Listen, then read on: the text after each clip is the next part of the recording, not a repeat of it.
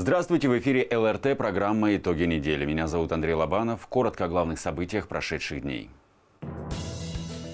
Она была старенькая, э, весьма изношенная. Как проходит благоустройство в рамках госпрограммы «Комфортная городская среда», расскажем в ближайшее время. Этот вопрос относится ко всем управляющим компаниям. Эту работу, понятно, что она всем надоела. Ее надо возобновить. Глава округа провел встречу с жителями в режиме онлайн.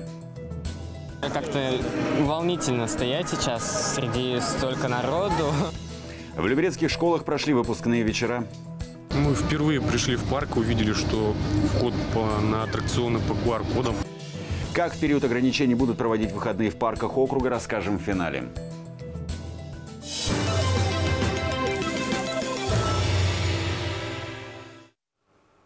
А теперь подробнее об этих и других новостях. Владимир Путин провел ежегодную прямую линию. В подобном формате глава государства ответил на вопросы россиян уже в 18 раз. Наш корреспондент Луиза Егезарян собрала основные тезисы беседы президента с жителями страны.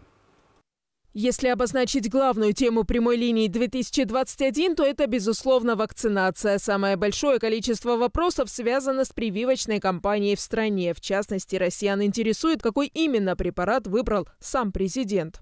Э, меня действительно просили не говорить о том, какой вакциной я прививаюсь, чтобы не создавать э, каких-то конкурентных преимуществ одной вакцины перед другой. Но я вижу, что вопросов действительно очень много. Особенно я с врачами это даже не советовался. Я смотрел вот как бы и по своим знакомым, кто чего там делает, и принял для себя решение привиться вектором, э, привиться спутником, спутником ВИ. Еще одна популярная тема в блоке «Вакцинация. Противопоказания». Ответы на многие вопросы Владимир Путин дал, изучая конкретные примеры. А, моя супруга, преподаватель в одной из московских школ, угу. имеет медицинский отвод из-за давнего хронического заболевания. Но руководитель, директор школы не принимает этот медицинский отвод и требует до 15 июля предоставить документ о вакцинации. В противном случае ее обещают уволить. Это незаконно, сразу могу сказать. Значит, если есть э, медотвод, отвод по медицинским соображениям, требовать вакцинации никто не имеет права. Массовая вакцинация не затмила и ряд других социально важных тем. Отвечая на вопросы россиян, глава государства говорил о первостепенных задачах властей. Среди них снижение уровня инфляции и безработицы. Во время прямой линии затронули тему социальных пособий и обсудили меры поддержки семей с детьми. Вопрос оставался нерешенным по детям, которые идут в школу. Потому что в соответствии с законом дети могут идти не с 7 лет, а с 6. Угу. Вот. Но кто-то пойдет в, э, в школу с 6 лет э, в какой-то семье, а в какой-то семье ребенок не пойдет с 6 лет. Значит, естественно, в правительстве возник вопрос, ну а как вот люди деньги получат, а ребенок в школу не пойдет? Всем в том числе и в семьям, э, в э, семьям, где шестилетние дети, даже если они в этом году в школу не, пойдет, не пойдут. Новые меры поддержки вводятся и для малообеспеченных граждан. На днях Владимир Путин подписал закон, запрещающий списывать деньги у малоимущих должников, в том числе и за кредиты. После всех взысканий у человека должна остаться на счету минимальная зарплата. Луиза Игиазарян, телеканал ЛРТ. В Московской области приступили к реализации проекта «Социальный контракт». Это новая мера поддержки малоимущих семей и одиноких граждан, чьи доходы ниже прожиточного минимума, установленного в регионе, то есть 13 580 рублей. Заявитель имеет право заключить соглашение с органами социальной защиты населения по месту жительства или по месту пребывания в Московской области. Оплата будет направлена эти денежные средства Социальным контрактом предусмотрены выплаты от 45 тысяч до 250 тысяч. Суммы, в общем-то, приличные, чтобы помочь семьям малоимущим выйти им из трудной жизненной ситуации. Получатель может потратить деньги на поиск работы, профессиональное обучение, открытие, либо расширение своего бизнеса, а также на покупку товаров первой необходимости, лекарств, обуви, одежды или школьных товаров. Заявление на заключение социального контракта принимают в Управлении соцзащиты, в МФЦ и на региональном портале госуслуг. Газ в каждый дом. Владимир Ужицкий встретился с жителями деревни Матякова. Темой обсуждения стала президентская программа социальной газификации. О том, что это такое и как подключить газ в дом, расскажет наш корреспондент. Вот что будет в первую очередь газифицироваться? Пожалуйста, вот эту вот информацию предоставьте. На листах информация об условиях проведения газа. Стать участниками президентской программы могут собственники домов 19 населенных пунктов округа. Догазификацию проводят в тех местах, где уже есть магистральный газ. Что такое услуга дегазификации? Есть жилой дом, вот Мособлгаз за бюджетные деньги, за государственные деньги в рамках поручения президента и выполнения догазификации подводит магистральный или внутриквартальный газопровод до границы раздела. Если раньше подключение занимало до пяти месяцев, то сейчас работы проводят за 15 дней. Президентская программа пока не распространяется на СНТ. Социальная газификация до границы участка выполняется бесплатно, внутри частной территории за счет собственников. Сегодня Мособлгаз разработал программу, которая у них на сайте полностью опубликована. Каждый сегодня житель может зайти в эту программу, она называется «Калькулятор», и просчитать предварительные затраты, которые ему необходимо будет оплатить за услугу. График встреч с жителями по обсуждению программы размещен на сайте администрации Люберец. Узнать подробную информацию о социальной газификации можно по номеру горячей линии 8 800 100 75 75. Айтат Чирагова, Денис Заугольников, телеканал ЛРТ.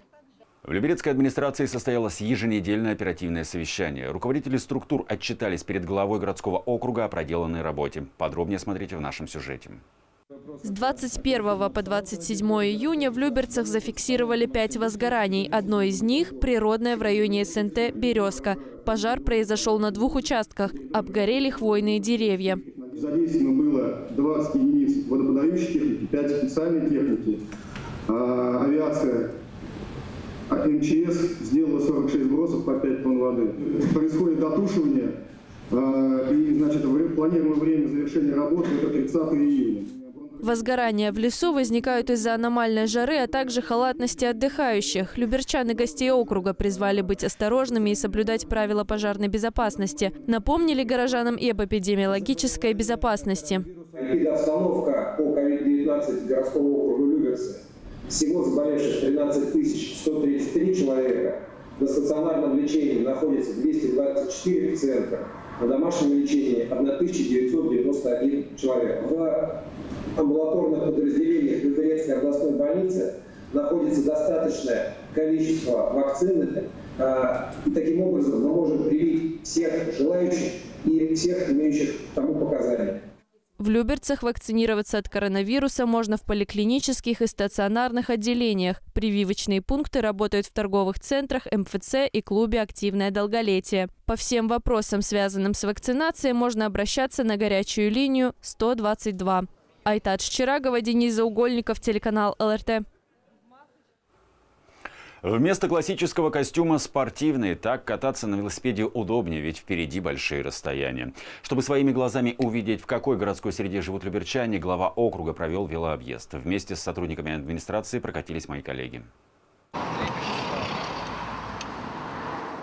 Начало пути – Быковское шоссе. Ямы на дорогах и некошенная трава – не единственное, на что жалуются горожане. Изношенная лестница на крыльце дома номер 33 – препятствие для старшего поколения, родителей с колясками или жителей с велосипедами. Мы вам дадим срок. Вот если это не будет выполнено, мы вас отсюда просто выгоним. Следующей точкой маршрута стала аллея имени Локтионова. Жители близстоящих домов выходят сюда на прогулку. Однако ходить по неухоженному парку горожанам неприятно. Аллее не хватает лоска. Это признают и жители, и сотрудники администрации взять по-новому. Ну, как делается сейчас современно. Хотел такое предложение. Да, и тогда совершенно другая будет эта история. Тут хорошая аллея, она напрашивается. Ухода требует и детская площадка во дворе дома номер 42 на Быковском шоссе. Новые малые архитектурные формы уже украшены вандальскими граффити. Объективно и откровенно, то я бы сказал, э, в целом э, ситуация на Мезе и в Малаховке как это не, прискорбно, но она неудовлетворительная. Здесь гораздо хуже, чем в Люберцах, хуже, чем поселок Октябрьский. План капремонтов на 2022 год администрация округа возьмет проезды на МЭЗе. Общий вывод уже ясен. Малаховка требует пристального внимания и управленческих решений. Я хотел сказать слова благодарности нашим жителям, которые, по крайней мере, неравнодушны и нам сигнализируют, говорят. Мы обращаем внимание и стараемся, по крайней мере, что как-то эти вопросы подтянуть. Но, повторяюсь, здесь, э, в Малаховке, работы, скажу так, непочатый край. Одна из достопримечательностей поселка – парк Малаховское озеро. Место для отдыха открыли в 2020 году. Газон, туалетные кабинки, бордюры. Глава округа увидел, как содержит парк и пообщался с жителями. Есть какие-то замечания по парку? Мне очень нравится, все красиво. Последняя остановка – станция Малаховка. Старый переход, изношенные дороги и мусор. Первое, что видят гости и жители поселка, сойдя с электрички. Навести порядок, как-то, скажем, это все снять, что другое повесить. Проверку на велосипедах проводят с 2020 года. Проинспектировать как можно больше адресов за короткое время – смысл велообъезда. Ведь это быстро, удобно и полезно для здоровья. Айтат Щерагова, Денис Заугольников, телеканал ЛРТ. Удобные дворы и детские площадки – то, что важно для каждого жителя. В округе проинспектировали придомовые территории. На этих участках проводят благоустройство в рамках госпрограммы «Комфортная городская среда». Во дворах побывали и мы. То есть по новому покрытию, то есть его сделали под дверь, то есть чуть налить не откроется дверь. Как-то зафиксируем, поставим на контроль. Между домами на улице Новая, 26 и Зеленый переулок, 20 – будущий комфортабельный двор. Но уже на начальном этапе ремонта у люберчан возникли вопросы.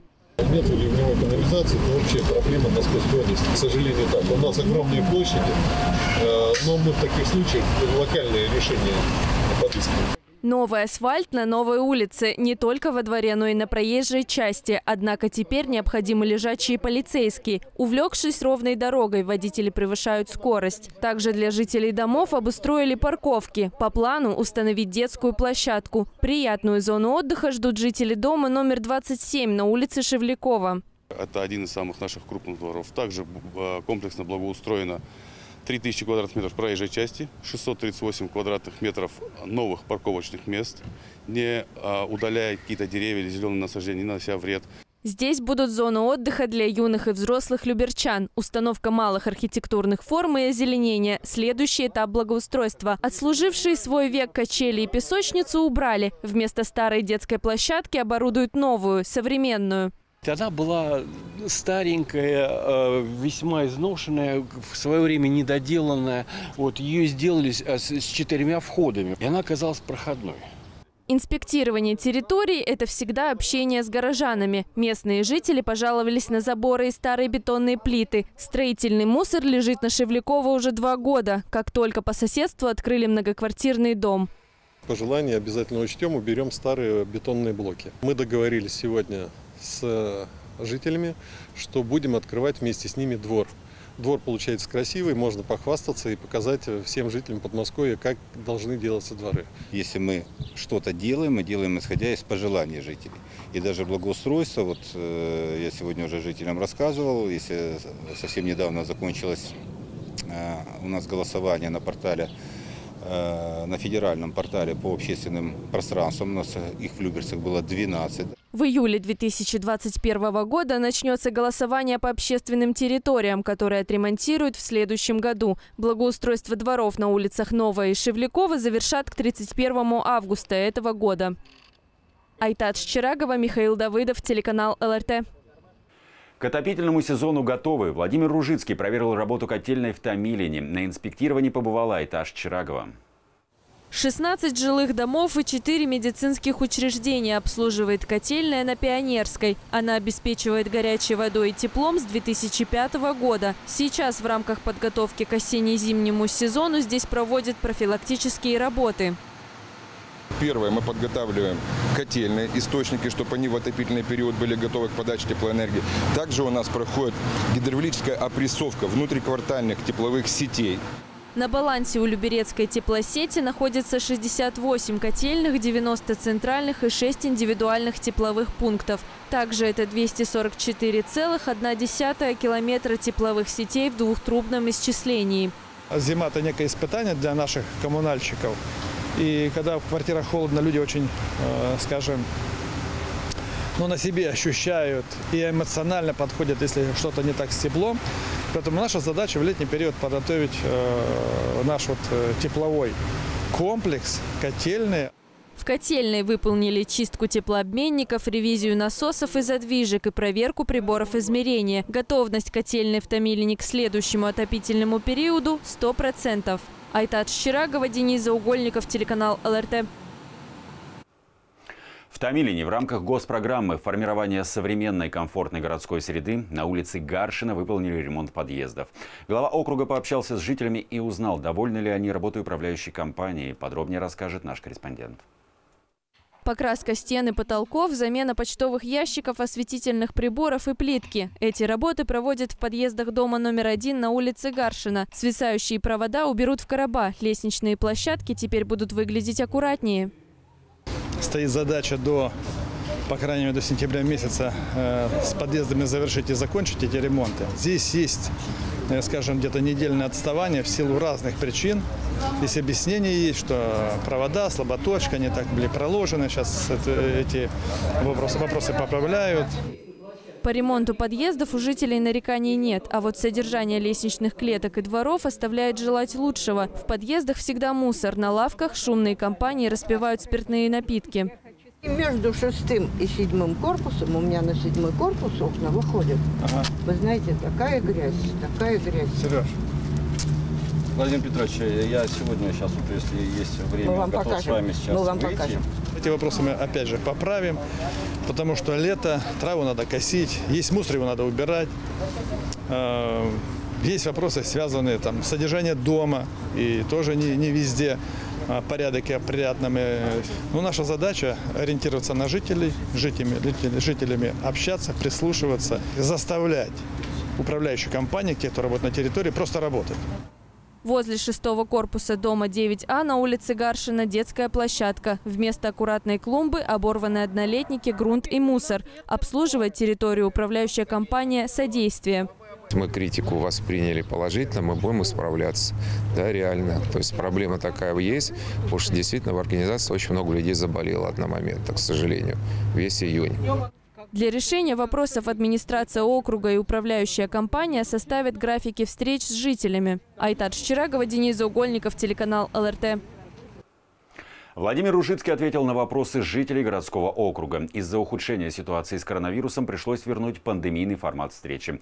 Вопросы главе поступали по телефону прямого эфира и через социальные сети. Подробности в сюжете Луизы Игиазарян.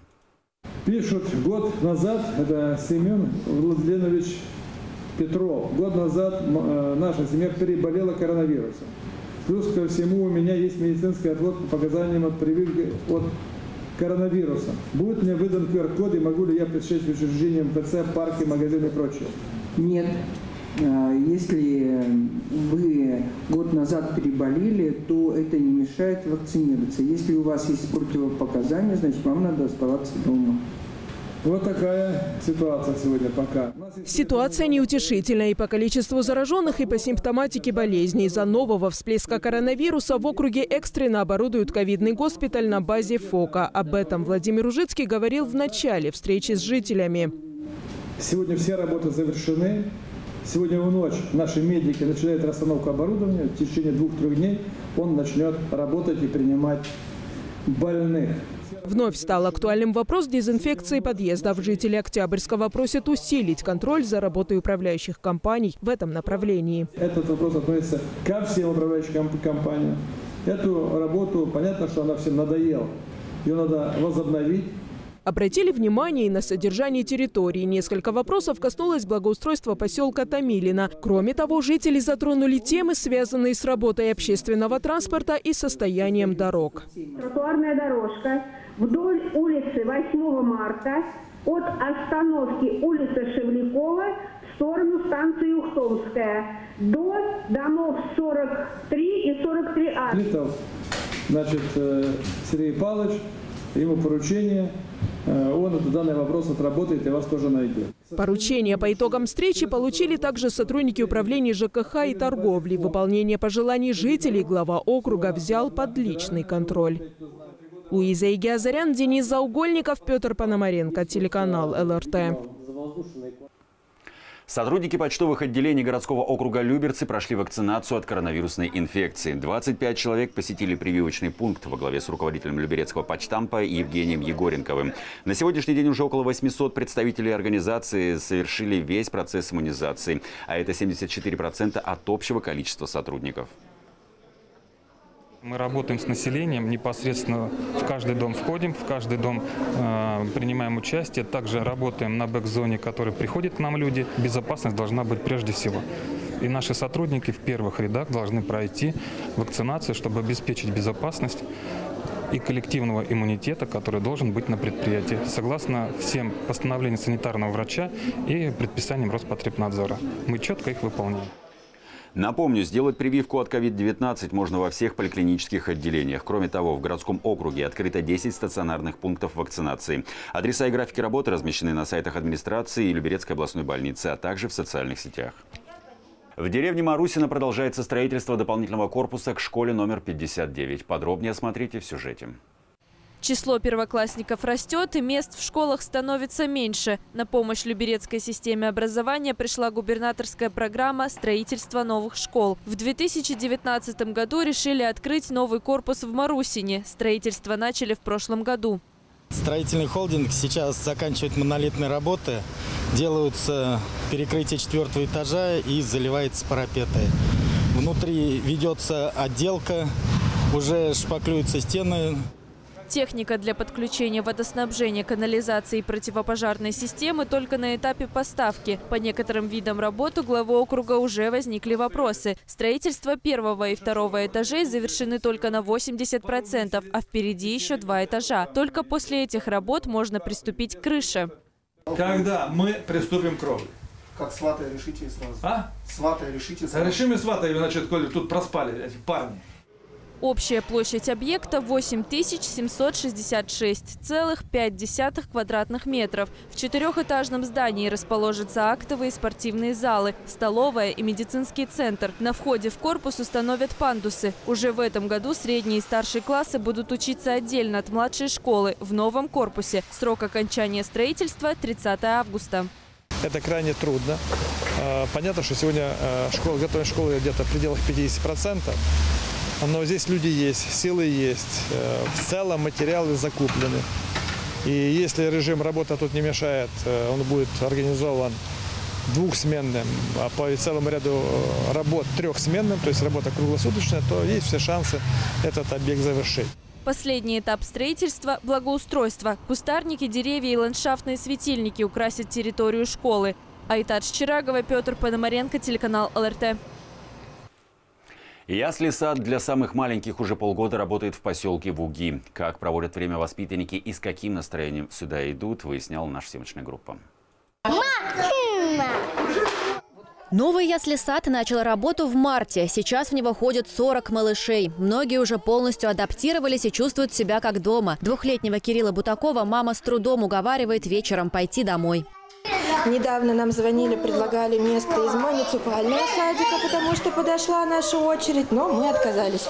Отсюда мы не уйдем ни за что на свете, потому что садик чудесный, воспитатели замечательные, ребенок обожает сюда ходить. Садик рассчитан на 120 мест. Пока группы только ясельные, от полутора до трех лет. Но планируется, что воспитанники будут посещать полюбившийся сад до самой школы. Глава округа Владимир Ружицкий проверил обустройство нового детского сада. Я даже предложил начальнику управления образованием, наверное, на базе этого садика провести некий семинар и показать нашим заведующим, воспитателям, как можно, скажем, из достаточно скромных условий, потому что здание старое, сделать нечто, которое у нас на сегодняшний день в Люберцах просто нет.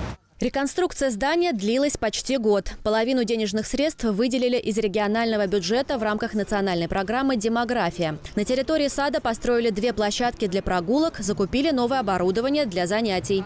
Мы поменяли трубы, мы поставили новые батареи, мы поставили очистительную систему для воды, чтобы наши детки пили воду чистую. У нас своя отопительная станция для того, чтобы мы могли включить деткам тепло заранее.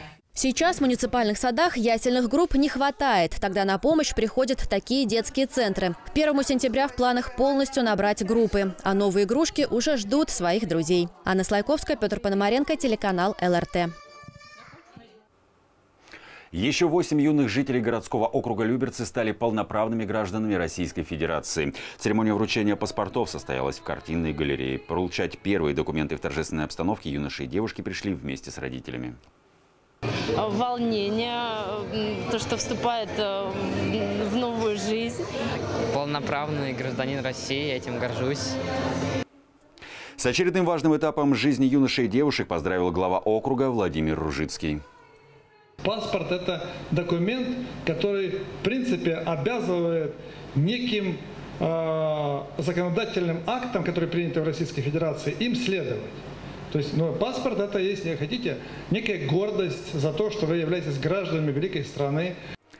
Вместе с паспортом юным люберчанам вручили поздравительные адреса губернатора Московской области и главы городского округа Люберцы. Получать первый документ в торжественной обстановке могут все подростки. Для этого при подаче заявления в МФЦ необходимо сообщить о своем пожелании.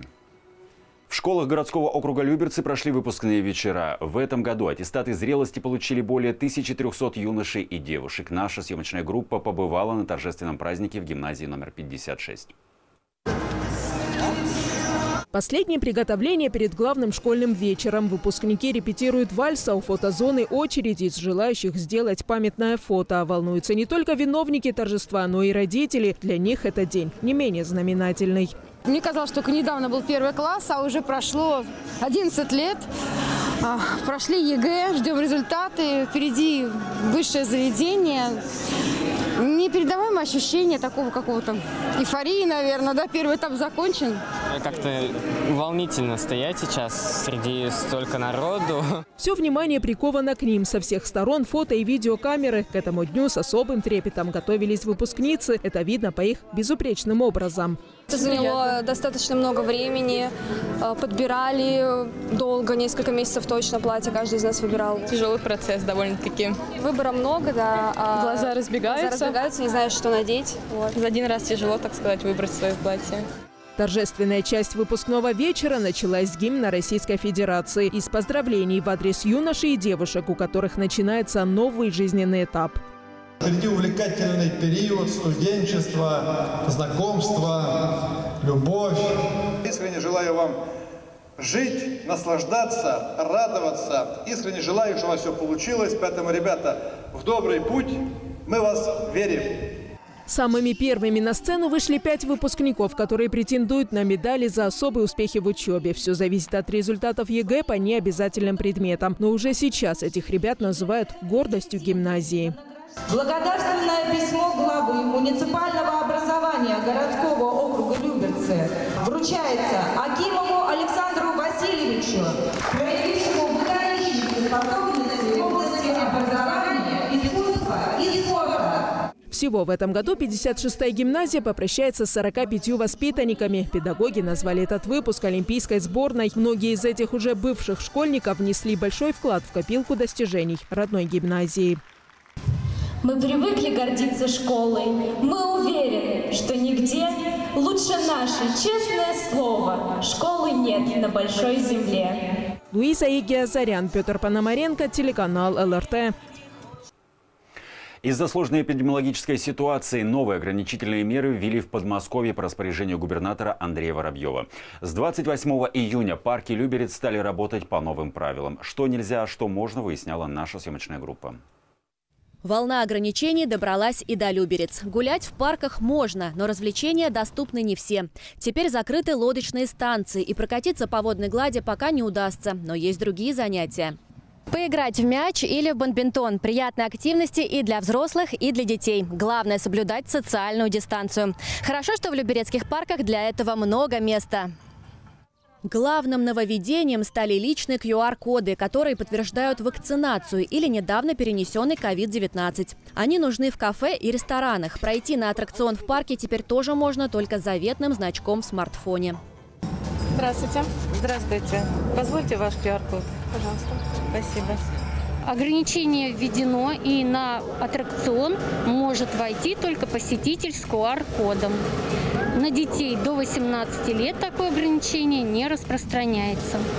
Парки работают с соблюдением всех санитарных норм. Сотрудники в масках, все оборудование обрабатывается антисептиком. Мы впервые пришли в парк, увидели, что вход по, на аттракционы по QR-кодам. Вполне задумались о том, что, возможно, стоит привиться, чтобы получать то, то, чего сейчас будет не хватать. Аттракционы, кафе и прочее. Мы вот так выходим посидеть иногда, когда выходной, с собакой погулять. Так мы, в принципе, на площадке иногда туда в парк ходим, где спортивные такие всякие качалки. Покормить птиц в парках тоже никто не запрещает. Пернатые всегда рады гостям. Детские спортивные площадки открыты. Друзья Николай Карлак и Шамиль Ушаков каждый день приходят в парк Малаховское озеро для занятий уличной гимнастикой. Приходим, гуляем. Но в большинстве случаев мы приходим на турники, чтобы улучшить форму. С друзьями, у нас человек 5-6. Приходим, тут занимаемся там. И все, потом уходим домой. Отдохнуть можно только на скамейках. Беседки решено закрыть, чтобы ограничить пикниковые посиделки. Некоторые приходят на Малаховское озеро порыбачить. Виктор Лазаренко проводит на водоеме по несколько часов. Говорит, улов небольшой, но главное не результат, а процесс. Самый лучший отдых после шахмат – Похожие развлечения можно найти и в других парках округа. Правда, погода в выходные обещает быть непредсказуемой. Не забудьте взять зонтик. Анна Слайковская, Петр Пономаренко, телеканал ЛРТ. 1 июля считается днем изобретения солнцезащитных очков. Именно к этому дню на большей части планеты устанавливается постоянная солнечная погода. Да и сезон отпусков не за горами. Как выбрать качественные очки и не переплатить ответы в нашем сюжете. Первые солнцезащитные очки стали носить еще в 17 веке. Этот летний аксессуар и сегодня весьма актуален. Екатерина Зайцева собирается в отпуск и озадачена поиском новых солнцезащитных очков. Ей хочется выбрать не только модную вещь, но и качественную. Добрый день. Мы рады приветствовать вас в нашей оптике. Меня зовут Надежда. Чем я могу быть вам полезна? Мне нужны очки для отпуска. Ультрафиолет – главная опасность для наших глаз. Излучение влияет на роговицу и может вызвать ожог. Поэтому очки в первую очередь должны защищать от солнца. Как правило, степень защиты указывается на бирке. У нас есть специальный аппарат, который демонстрирует защиту от УФ-лучей. 400 степень защиты максимальная. Идеально подходит для отдыха в жарких странах. В городе подойдет показатель чуть меньше – 380. От бликов хороши очки с поляризацией. Это способность поглощать свет. Такие линзы спасают глаза на ярком солнце. Они блокируют и тем самым дают наибольший комфорт. Их рекомендовано как раз брать с собой в теплые страны, когда вы едете отдыхать. На поляризацию проверить очки легко. Делаем на телефоне белый экран. На его фоне стекла очков будут то светлые, то темные. Значит, поляризация есть. В оптике протестировать очки можно на специальном приборе. Цвет линз лучше выбирать черный или коричневый. Все, что касается розовых, голубых, они дают очень мало защиты на глаза. Красные, розовые, они вообще раздражают нервную систему. В качественных очках изображение должно быть более четким, чем без них, даже если зрение стопроцентное. И цена на качество не влияет. Потому что можно купить и дорогие очки, но при этом у них не будет особой защиты. А можно купить и достаточно бюджетный вариант очков, а, и они будут прекрасно защищать глаза. При выборе очков нужно обратить внимание и на прочность конструкции. Тогда очки прослужат долго и надежно защитят глаза на ярком летнем солнце. Да, это то, что я искала. Если очки соответствуют всем нужным параметрам, а главное подходят по внешнему виду, значит смело можно покупать. Поздравляем вас с покупкой, у вас прекрасный вкус. Анна Слайковская, Денис Заугольников, телеканал ЛРТ.